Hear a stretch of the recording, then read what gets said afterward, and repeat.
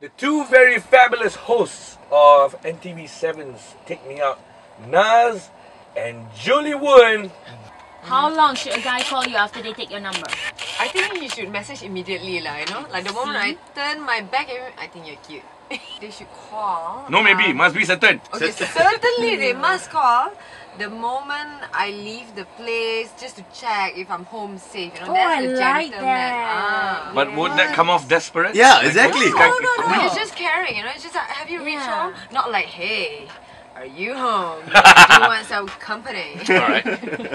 According to Article 247 of the Bro Code, Thank you. Oh, bro Code! you know, the time taken to call the girl back after a good night out Mm-hmm. is inversely proportional to the hotness factor. I like that.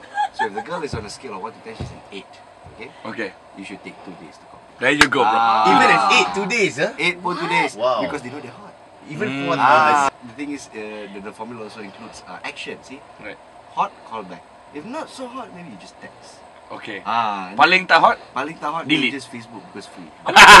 For those uh, of you who have not watched Take Me Out, it is a dating show. How does it work exactly? Very simple. You know, we've got 30 ladies, single ladies, of course, on set, and we've got one single guy. The objective, is of course, uh, the guys have to turn the girls on. If not, the girls turn their lights off, their 30 lights as well. So that's to show your displeasure at the man. Right. What is the biggest challenge uh, hosting this show?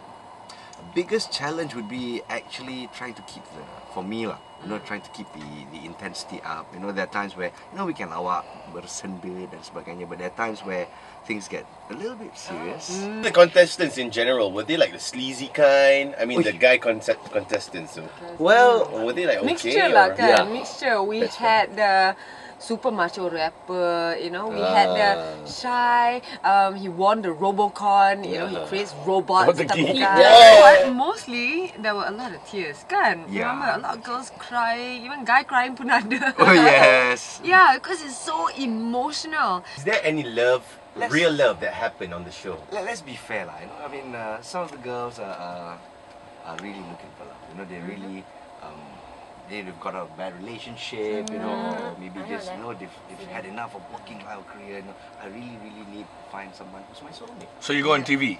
Um, and them until now they are so compatible and they're so tight they're inseparable. Mm-hmm, you know we thought okay like just throughout the show but even after recording you know they come back every week and we recorded their first date and we put that in take me out extra kan? But after that it was date number two number three number 20 number 200 well, um, love is a very strong word i find Mm-hmm. for first sight but I, I think attraction at first sight yes and attraction uh, is part and parcel that, that makes love Wow. Like Oprah wins once comes out with again. all that.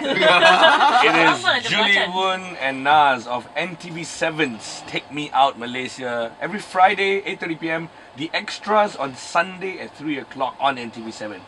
Do we miss out on anything else? well, um, well, don't stop believing in love. Oh yeah, you That's took what my I'd like to say. Oh no, I'm sorry. I'll give it back to you. You say it. I love you, Naz.